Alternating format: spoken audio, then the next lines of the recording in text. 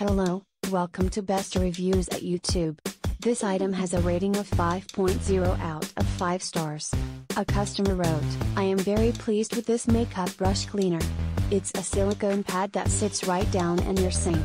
It does an amazing job at removing all the buildup, leaving your brushes as good as new.